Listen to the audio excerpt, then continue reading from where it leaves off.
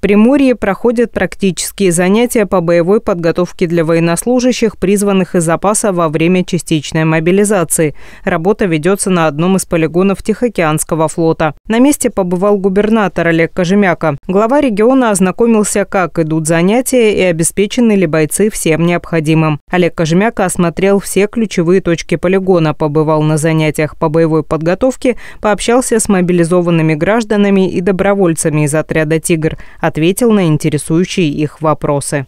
Настрой боевой, э, вы это сами э, слышали, видели. Вот, ребята все со стержнем, уверены в себе. Те навыки, навыки которые они здесь э, приобретают, помогают вспомнить армейскую службу.